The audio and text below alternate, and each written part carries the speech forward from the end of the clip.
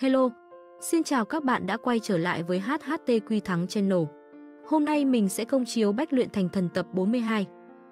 Hai người một tiến một lùi như vậy, lập tức liền xông ra khỏi doanh trại, đến con đường bên ngoài. Đối mặt với sự truy đuổi của La Trinh, những thủ đoạn nào có thể dùng, Gia Cát Thanh Vân đều dùng hết. Mắt thấy phi tiêu lá liễu không có tác dụng, hắn lại móc ra một lá bùa màu nâu. Đinh Giáp Binh Gia Cát Thanh Vân ném lá bùa kia đi, nó lập tức bốc cháy, trước mắt hắn xuất hiện một binh lính mặc giáp bằng mây tre. Tên lính kia vừa xuất hiện liền vung đao chém về phía La Trinh. Vỡ cho ta. La Trinh lại đánh một quyền, biến tên lính mặc giáp vừa được huyễn hóa ra kia tan thành hư vô, sau đó liền vung nắm đấm đuổi theo Gia Cát Thanh Vân. Gia Cát Thanh Vân thấy thế, cắn răng một cái lại bóp nát mặt dây chuyền trước ngực. Mặt dây chuyền này là một món đồ gia truyền của Gia Cát gia, sau khi hắn trở thành mưu sĩ của đế quân, gia tộc mới ban cho hắn, nghe nói vào thời khắc mấu chốt có thể cứu hắn một mạng. Khi mặt dây chuyền kia vừa bị bóp nát, một vầng sáng hình tròn màu lam nhạt xuất hiện bao quanh Gia Cát Thanh Vân. Vỡ ra, một đấm của La Trinh nện trên vầng sáng, nhưng nó chỉ lắc lư vài cái rồi lại khôi phục nguyên trạng. Cứng vậy sao? Có thể ngăn được sức mạnh kinh người kia của La Trinh, chứng tỏ vầng sáng này vô cùng quỷ dị, không hổ danh là một món đồ gia truyền của Gia Cát gia. Ầm, ầm, ầm ầm. La Trinh đập liên tiếp hơn 10 quyền khiến vầng sáng kia lắc lư vô cùng mạnh mẽ, nhưng vẫn không đủ để phá vỡ nó. Thấy thế, Gia Cát Thanh Vân thở hắt ra một hơi. Chỉ cần hắn kiên trì, chốc lát nữa sẽ có người tới cứu hắn rồi. Nơi này chính là thành Bạch Đế, hắn chính là mưu sĩ của đế quân. Sao có thể để cho tên nhãi này dương oai như thế? Gia Cát Thanh Vân cười lạnh nói, đừng mơ mộng đánh vỡ được nó. Đây là bảo vật cửu xích phân quang kính, khi đã phóng ra, ngay cả cao thủ chiếu thần cảnh cũng không thể phá vỡ trong khoảng thời gian ngắn. Sau khi thử một lúc, La Trinh phát hiện quả nhiên sức mạnh thô bạo của hắn không thể đập vỡ vầng sáng này. Trong tay liền vọt ra một tia chân khí thiên ma, hắn nhẹ nhàng vỗ một cái, rót chân khí thiên ma vào trong vầng sáng. Vô cùng hiệu quả, với đặc tính cắn nuốt tất cả mọi thứ, chân khí thiên ma liền cắn nuốt ra một lỗ hổng trên quầng sáng này, đồng thời còn nhanh chóng lan rộng. Làm sao có thể? Chân khí này của ngươi rốt cuộc là cái gì? Gia Cát Thanh Vân thấy thế, sắc mặt lập tức tái mét. La Trinh, nơi này là thành Bạch Đế, ngươi dám đụng đến ta, chính là đối địch với trăm vạn đế quân. La Trinh hừ lạnh một tiếng, còn không đợi chân khí thiên ma hoàn toàn cắn nuốt hết vầng sáng kia thì đã tóm lấy cái cổ Gia Cát Thanh Vân từ lỗ hổng, đối địch với trăm vạn đế quân. Ngươi chỉ là một mưu sĩ của đế quân, vậy mà có thể đại diện cho trăm vạn đế quân. Ta đúng là không thể đại diện trăm vạn đế quân, nhưng ta họ Gia Cát, ngươi đối địch với Gia Cát sĩ tộc, dù có lên trời hay xuống đất thì cũng sẽ bị tìm ra mà giết chết. Gia Cát Thanh Vân lại uy hiếp. La Trinh thở dài một hơi, cái tay đang túm cổ Gia Cát Thanh Vân tăng thêm lực đạo, người Gia Cát ra các ngươi, ngoài việc mở miệng ra là nói hai chữ Gia Cát thì còn có bản lĩnh gì đây? Đúng lúc này, một tay của Gia Cát Thanh Vân vỗ lên tay La Trinh, trên mặt bỗng nhiên cười lạnh, đương nhiên là có, còn có bản lĩnh giết chết người. Nói xong, giữa tay Gia Cát Thanh Vân xuất hiện một lá bùa màu xanh lam, hắn hung hăng dán trên tay La Trinh sau đó đốt cháy, từ lá bùa kia tức khắc xuất hiện rất nhiều tia chớp nhỏ. Những tia chớp đó lập tức lan khắp toàn thân La Trinh, dù không tạo nên thương tổn gì đối với hắn, nhưng lại làm cơ bắp toàn thân hắn bị tê liệt. Nói cách khác, lúc này La Trinh không thể động đậy được. Xì xì xì xì. Lúc này, La Trinh chỉ có thể bình tĩnh đứng nguyên tại chỗ, không thể động đậy được chút nào. Trên mặt Gia Cát Thanh Vân lại xuất hiện ý cười, nhãi con liều lĩnh, không nghĩ rằng ra còn chiêu này đúng không? Đi chết đi. Trong tay Gia Cát Thanh Vân lại có thêm một con dao găm sáng loáng đâm về cổ La Trinh. Gia Cát Thanh Vân biết rõ thực lực của mình không tốt, cho nên thường chuẩn bị rất nhiều đồ trên người, vào thời khắc nguy cấp, những đồ vật nhỏ bi hay lại thường phát huy tác dụng lớn, cứu hắn một mạng. Chỉ tiếc, con dao găm này của Gia Cát Thanh Vân mới đi được một nửa, hắn đã cảm nhận được một trận đau đớn truyền đến từ trong óc. Hắn lập tức ôm đầu lăn ra đất quay cuồng. Kinh thần thứ. La Trinh lạnh lùng nhìn ra Cát Thanh Vân đang không ngừng lăn qua lăn lại trên mặt đất, trên mặt không có chút thượng hại nào, sát ý trong mắt cũng dần dần nồng đậm.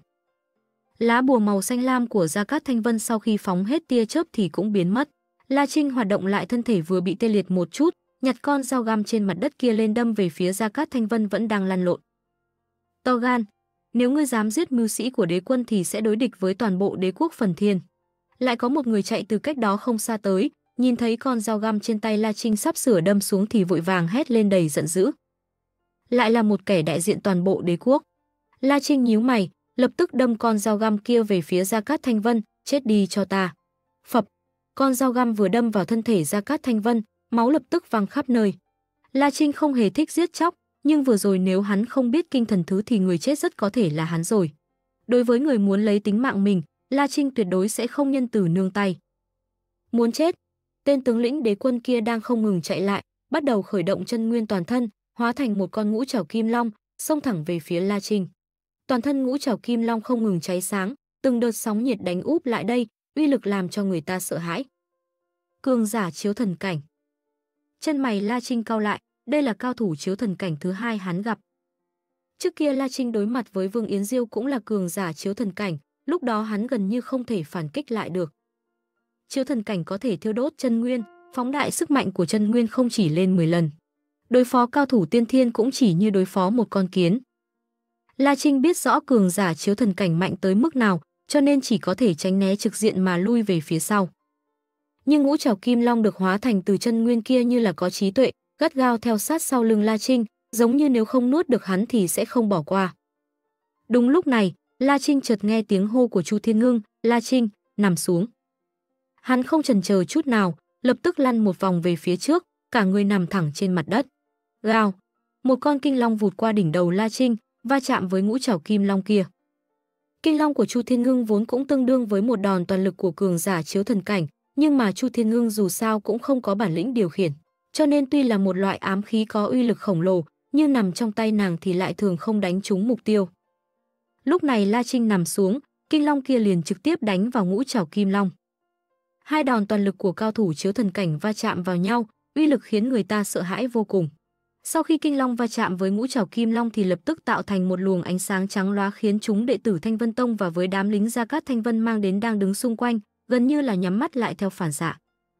Sau khi ánh sáng chói lọi kia biến mất, tên tướng lĩnh đế quân sầm mặt lại đi tới, quát hỏi, cho dù là người của Chu gia thì cũng phải cho ta một lời giải thích, vì sao muốn giết chết Gia Cát Thanh Vân. Đối mặt với vị tướng lĩnh này, Chu Thiên Ngưng không sợ chút nào mà đứng ra nói rất lạnh lùng, bởi vì hắn đáng chết. Gia Cát Thanh Vân có đáng chết hay không cũng không tới phiên các ngươi quyết định.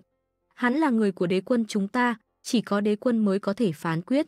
Chân nguyên trong tay tướng lĩnh đế quân lóe lên, lại tạo ra thêm một con ngũ trảo kim long nho nhỏ nữa uốn lượn xung quanh hắn, nếu các ngươi không cho ta một lời giải thích, các ngươi đều phải chết. La Trinh đứng lên khỏi mặt đất, nhổ ra một ngụm máu. Vừa rồi lúc kinh long va chạm với ngũ trảo kim long, dư uy phát ra quá mạnh mẽ khiến hắn nằm ngay bên cạnh cũng bị liên lụy, thế nào? Ý của ngươi là dù Gia Cát Thanh Vân kề đao lên cổ ta, ta cũng không được phản kháng, phải chia cổ ra cho hắn giết. Trăm vạn đế quân ta đóng ở thành Bạch Đế này, kỷ luật luôn nghiêm minh, nếu Gia Cát Thanh Vân muốn giết ngươi, đương nhiên sẽ có đầy đủ lý do. Tướng lĩnh đế quân kia nghiêm túc nói. Ha ha ha, ta thật bội phục, ngươi lại có thể nói lời vô sỉ một cách chính đáng như vậy, còn muốn chúng ta giải thích cái gì? Giết ta là được. La Trinh tuy nói vậy nhưng cũng đã lên tinh thần đề phòng, chân khí thiên ma trong người cũng lặng lẽ lưu chuyển. Mặc dù là đối mặt với cường giả chiếu thần cảnh thì hắn cũng sẽ không ngồi chờ chết. Vậy sao? Vậy ngươi đi chết đi. Tướng lĩnh đế quân vung tay lên, ngũ trảo kim long trong tay kia đón gió biến dài ra, tạo thành một con ngũ trảo kim long cực lớn, uốn lượn xoay quanh, uy thế kinh người. Gào, tên tướng lĩnh đế quân đẩy một cái, toàn thân ngũ trảo kim long lập tức bốc cháy dữ dội, mạnh mẽ nhào về phía La Trinh. Nó vốn là do chân nguyên biến thành, một khi chân nguyên bốc cháy thì uy lực cũng tăng thêm mấy lần. Thấy cảnh này, sắc mặt bọn Lâm Canh, Trúc Thiên Lai đang đứng nơi cửa quân doanh nhất thời trắng bệch. Tuy La Trinh có thể đánh bại yêu tướng, trong mắt bọn họ, thực lực của hắn quả thực có khả năng nghịch thiên, nhưng mà mạnh hơn thì thế nào? Đối phương chính là cường giả chiếu thần cảnh. Giữa nửa bước tiên thiên và chiếu thần cảnh cách nhau chọn một cảnh giới lớn. Trên lệch cảnh giới giữa người với người vốn có thể dùng những thứ khác để bù đắp, ví dụ như vũ khí cực phẩm, công pháp đặc biệt, thiên phú dị bẩm hay dị thuật tuyệt mật. Nhưng chênh lệch giữa La Trinh và tướng lĩnh đế quân kia đúng là một cái rãnh trời, dù có dùng tất cả mọi thứ để bổ trợ thì cũng khó mà vượt qua được cái rãnh này. Tướng lĩnh đế quân ra tay, giống như đã tuyên La Trinh án tử hình. Đối mặt với ngũ trảo kim long vô cùng uy lực kia, chân khí thiên ma trong cơ thể La Trinh giống như một cơn thủy triều, ào ạt trào ra từ đan điền, hội tụ trên hai nắm đấm của hắn. Thiên ma thần quyền, ma động thiên hạ.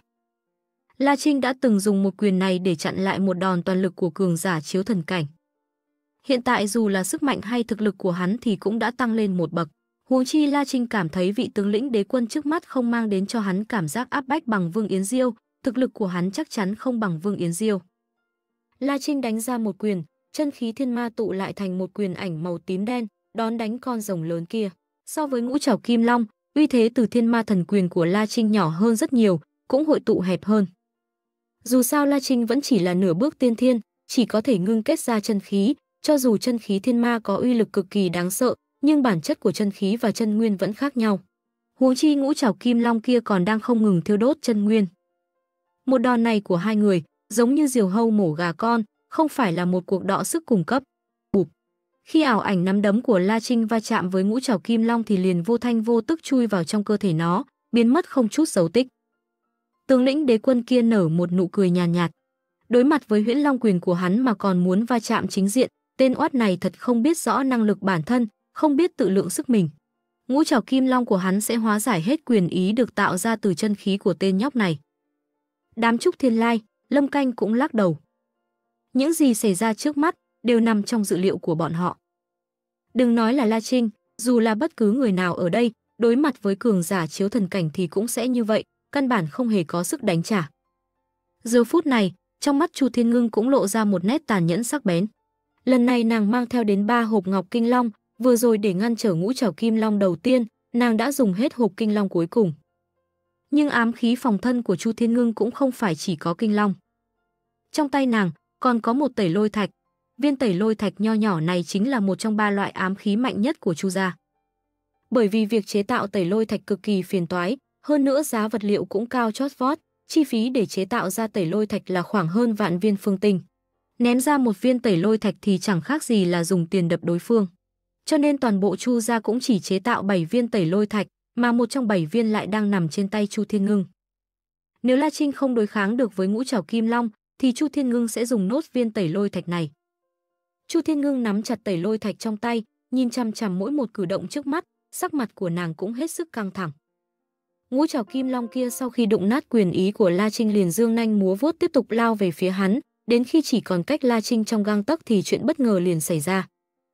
Từ chỗ ngực ngũ trảo kim long bỗng nhiên xuất hiện một điểm màu tím đen nhỏ, điểm màu tím đen này vừa xuất hiện liền nhanh chóng mở rộng. Đôi mắt xinh đẹp của Chu Thiên Ngưng trợn tròn, nàng biết rõ thứ chân khí màu tím đen kia chính là chân khí của La Trinh. Chân khí của La Trinh từ lúc cắn nuốt đến khi lan tỏa ra là cả một quá trình từ chậm đến mau. Đến lúc ngũ trảo kim long vọt tới trước người La Trinh thì nó đã bị chân khí thiên ma cắn nuốt hoàn toàn. Vốn là một ngũ trảo kim long với ánh sáng vàng rạng rỡ, nay lại biến thành một con rồng màu tím đen, lúc này nó đang đứng sững trước mặt La Trinh, không hề tiến lên một chút nào. Mặt tên tướng lĩnh đế quân kia hầm hầm biến sắc, huyễn long quyền của hắn có thể đánh ra một ngũ trảo kim long nghênh địch. Hơn nữa trong quá trình nghênh địch, hắn có thể điều khiển ngũ trảo kim long thay đổi phương hướng, thậm chí phát ra tiếng rồng ngâm làm tăng thêm uy thế. Nhưng lúc này, chân nguyên mà hắn dùng để bồi luyện ra ngũ trảo kim long không chỉ biến thành màu tím đen, lại còn mất đi liên kết với hắn, nói cách khác hiện tại hắn không cách nào điều khiển con rồng này. Rốt cuộc đã xảy ra chuyện gì? Vì sao ngũ trảo kim long lại biến thành màu tím đen? Tên oát này đã giở trò gì? Đối mặt với một việc hắn hoàn toàn không cách nào lý giải, trong lòng hắn lập tức bộc phát lên vô vàn mối nghi ngờ. La Trinh nhìn con rồng màu tím đen lơ lửng ở trước mặt, trong đầu bỗng nảy ra một suy nghĩ. Trước đây sau khi hắn phóng ra chân khí thì chưa từng nghĩ tới việc sẽ điều khiển nó. Dù sao với thực lực nửa bước tiên thiên của hắn thì còn chưa làm được điểm này. Bởi vì khi bước vào nửa bước tiên thiên thì cũng chỉ có thể tách rời chân khí ra khỏi thân thể. Sau khi chân khí rời thân có thể duy trì không biến mất, nhưng thường thường nó còn cần bám vào những vật khác mới có thể giết địch từ xa. Chỉ có bước vào tiên thiên cảnh, chuyển hóa chân khí thành chân nguyên, tiến hành biến hóa như trong tưởng tượng thì mới có thể đem chân nguyên hóa vật, dùng vật giết địch.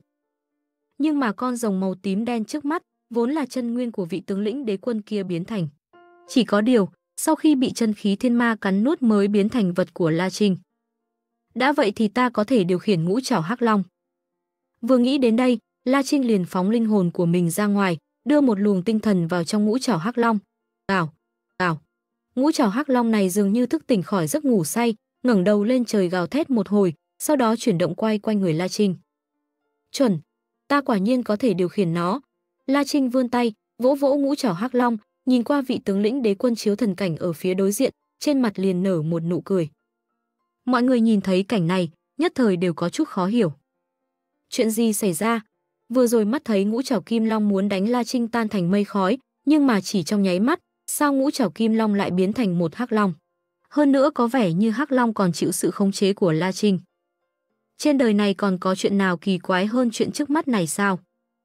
Mắt Chu Thiên Ngưng lóe sáng lên, bàn tay đang nắm chặt tẩy lôi thạch của nàng dường như có chút run rẩy, trong lòng thầm nghĩ, ta đúng là lo lắng quá mức rồi. La Trinh vốn là kỳ tài ngàn vạn năm khó xuất hiện lấy một lần, cho dù hắn mới chỉ là nửa bước tiên thiên thì như thế nào. Cho dù đối mặt chính là cường giả chiếu thần cảnh thì sao chứ? Hắn luôn luôn có cách đối phó. Trúc Thiên Lai tay cầm hắc bạch song kiếm, miệng đã há thật to. Thật ra hắn vừa mới tính giúp La Trinh một tay.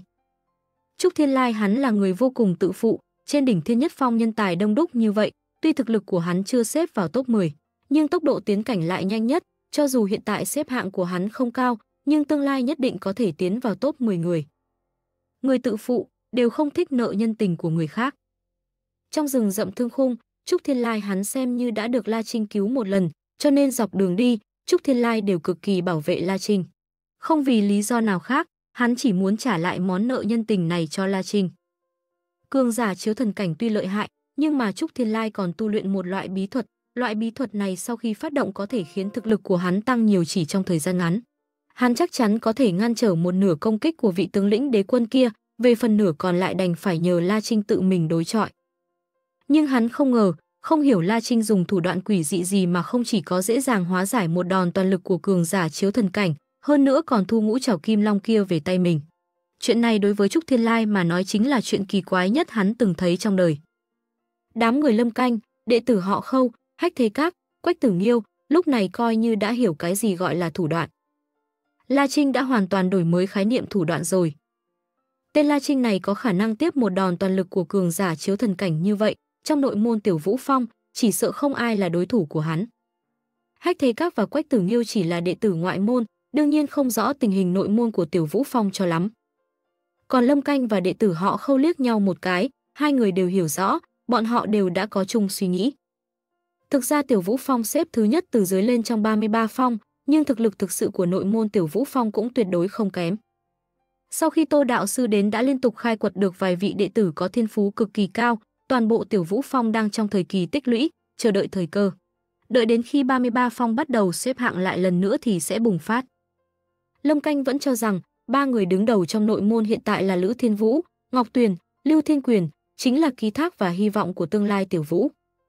Nhưng hiện giờ xem ra, Lưu Thiên Quyền không phải là đối thủ của La Trinh, Ngọc Tuyền cũng không có khả năng, ngay cả Lữ Thiên Vũ xếp hạng nhất cũng không phải là đối thủ của La Trinh. Ai là ngựa ô? Đệ tử ngoại môn La Trinh mới thật sự là ngựa ô. La Trinh thao túng ngũ trảo hắc long, lượn vài vòng quanh mình, sau đó hắn nhanh chóng phát hiện, hắn không có khả năng giữ được mãi ngũ trảo hắc long ở bên người. Nguyên nhân rất đơn giản, chân khí của hắn không đủ. Sau khi chân nguyên hóa thành thực thể, nhất định phải truyền chân nguyên của bản thân cho nó liên tục không ngừng nghỉ. Mặc dù thân thể La Trinh khác với người thường, chân khí trong cơ thể cũng cường đại hơn nhiều so với người cùng cấp, nhưng so với cường giả chiếu thần cảnh thì chân khí trong cơ thể hắn hoàn toàn không đáng chú ý. Vừa rồi La Trinh thông qua chân khí thiên ma, trực tiếp chiếm đoạt ngũ trảo kim long của tướng lĩnh đế quân kia, chuyển hóa thành ngũ trảo hắc long, mà giờ khắc này, La Trinh điều khiển ngũ trảo hắc long lượn quanh người vài vòng nên đã tiêu hao chân khí thiên ma của chính mình. Tốc độ tiêu hao chân khí này quá mức kinh người, tới mức có thể thấy được lượng chân khí trong đan điền của hắn đang giảm xuống. Đã như vậy, vậy, đi, lấy gậy ông đập lưng ông. La Trinh nhẹ nhàng đẩy tay, ngũ trảo hắc long ngẩng lên trời gào một tiếng, tiếng rồng gầm thét khiến màng nhĩ những người xung quanh đều chấn động ù ù. Sau đó ngũ trảo hắc long liền mãnh liệt bổ nhào về phía tướng lĩnh đế quân kia. Vị tướng lĩnh đế quân nhìn ngũ trảo hắc long nhào về phía mình thì mí mắt co giật. Dù là ai, nhìn thấy công kích của mình bị hóa giải cũng sẽ khó chịu, mà giờ đây hắn còn phải chịu đòn công kích của chính mình. Không có thời gian cho vị tướng lĩnh đế quân này suy nghĩ nhiều, năm ngón tay hắn hóa thành móng nhọn, trong tay lập tức lại xuất hiện một ngũ trảo kim long, lấy cùng một tư thế, cùng một tốc độ lao về phía ngũ trảo hắc long của La Trinh. Ngũ trảo hắc long và ngũ trảo kim long va chạm giữa không trung. Chưa đến thời gian một hơi thở, hai con rồng cũng đã phân ra được thắng bại. Công kích của ngũ trảo kim long so với ngũ trảo hắc long thì bén nhọn hơn nhiều, trải qua nhiều đòn đánh đã phá vỡ ngũ trảo hắc long của La Trinh thành mảnh nhỏ. Tướng lĩnh đế quân tươi cười, Giả chính là giả. Đụng phải ngũ trảo kim long thật sự sẽ lập tức lộ đuôi thôi. Thật ra, thực lực hai con rồng này vốn cũng không cùng một cấp bậc. Ngũ trảo kim long là do chân nguyên biến thành, còn ngũ trảo hắc long chỉ là chân khí mà thôi, cả hai vốn đã khác biệt từ chính bản chất hình thành. Huống chi ngũ trảo kim long còn đang không ngừng thiêu đốt chân nguyên, uy lực tăng lên hơn đâu chỉ 10 lần. Nhưng nụ cười tươi của tướng lĩnh đế quân chưa được bao lâu thì đã hoàn toàn cứng lại. Đến đây thì cũng khép lại tập 42 Bách luyện thành thần. Xin chào và hẹn gặp lại các bạn ở những video tiếp theo.